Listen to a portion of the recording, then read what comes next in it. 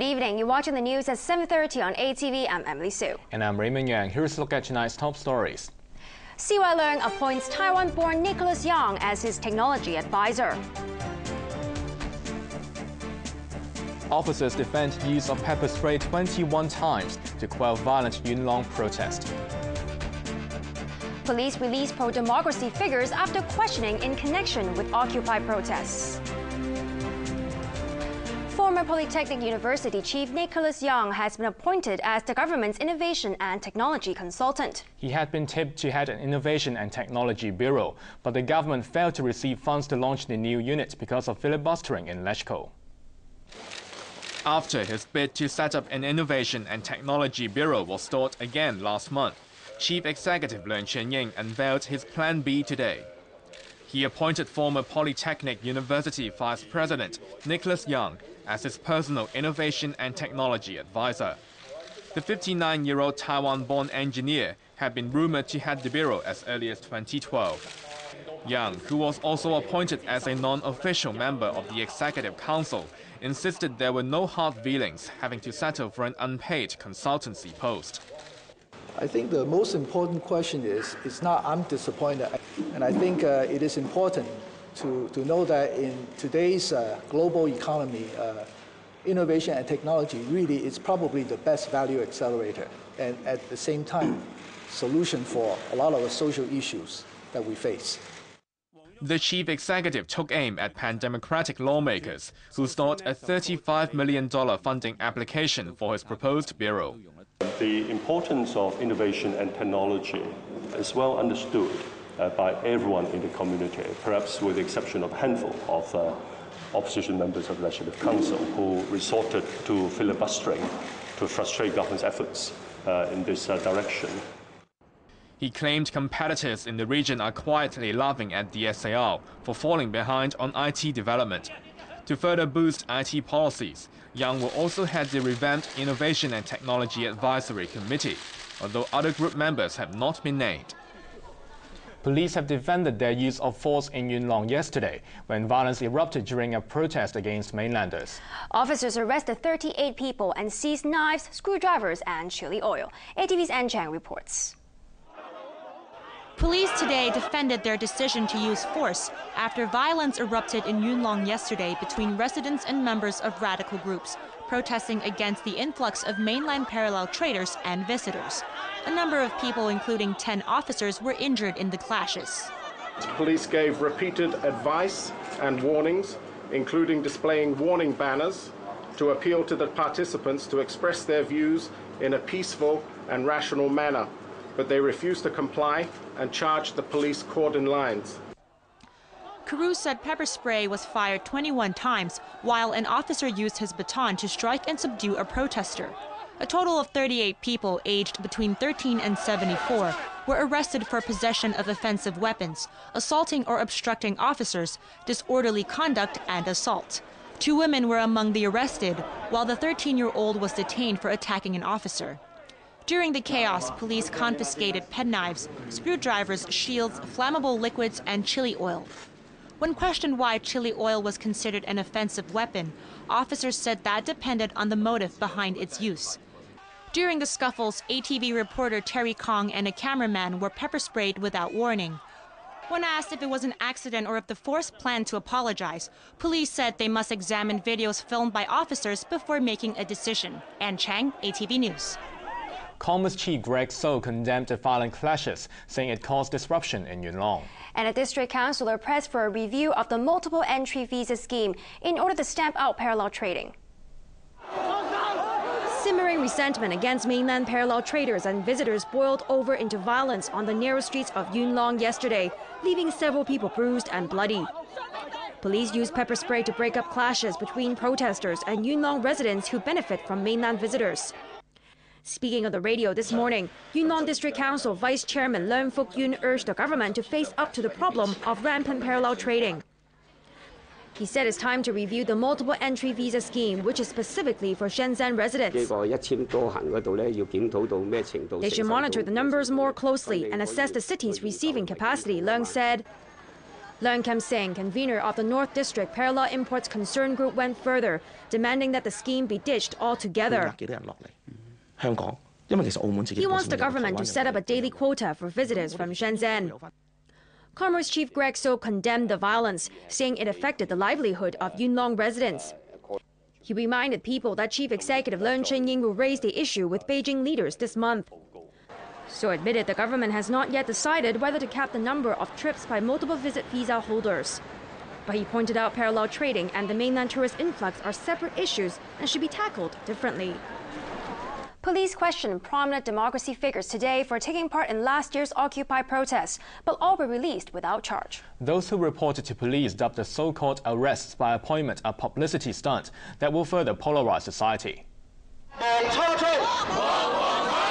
Accompanied by their supporters, Democratic Party lawmakers Helena Wong, Albert Ho, and the Civic Party's Alan Leong and Audrey Eu showed up outside police headquarters in Wan Chai this morning.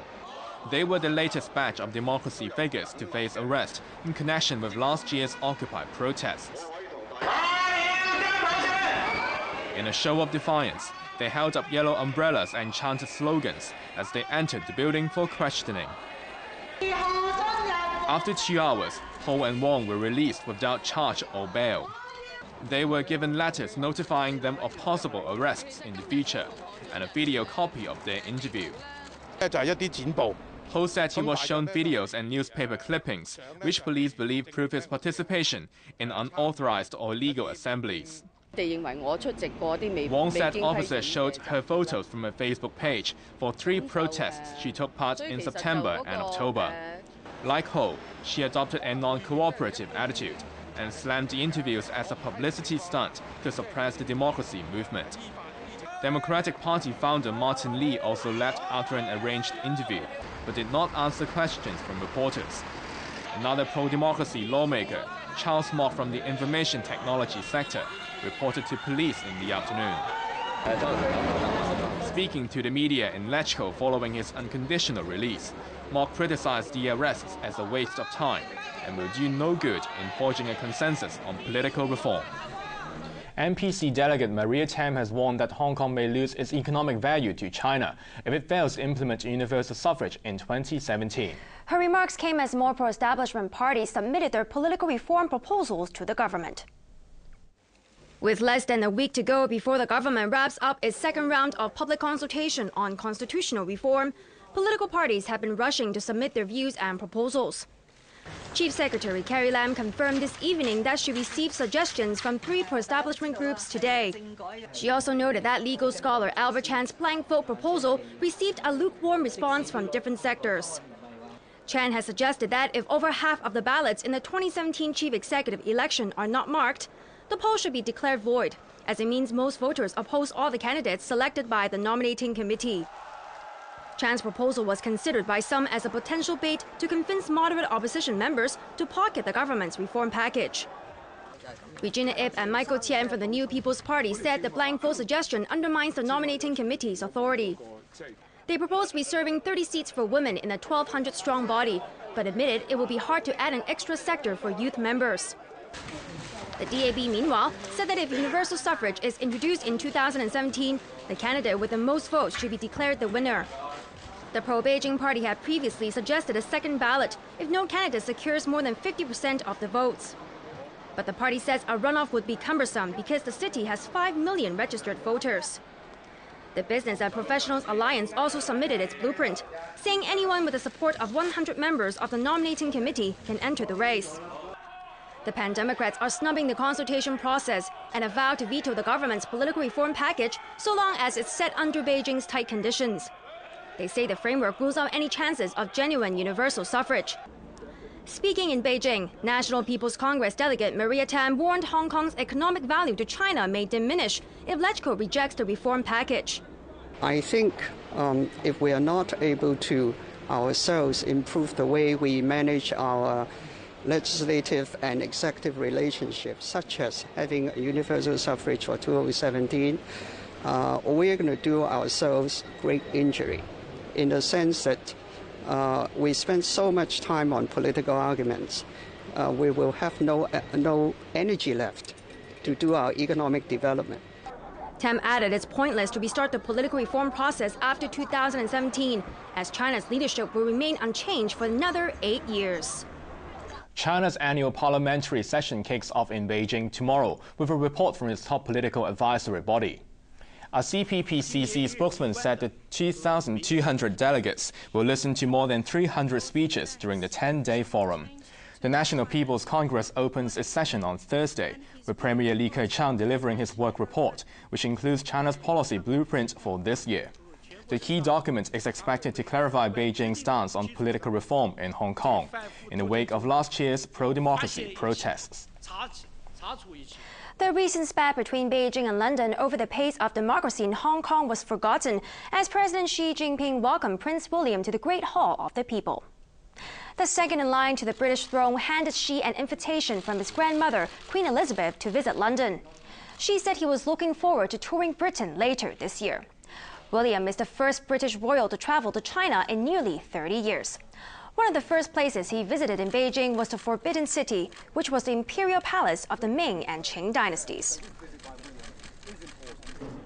Tensions between North and South Korea have risen after Pyongyang fired two short range missiles. The missiles were launched in a show of anger and defiance as South Korea and the U.S. began military drills. ATV's Joyce Wu reports.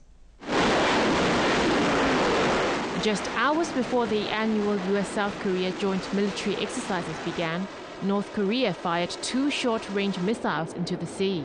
The missiles, with a range of 490 kilometers, were launched from the western city of Nampo and landed in the sea east of the Korean peninsula.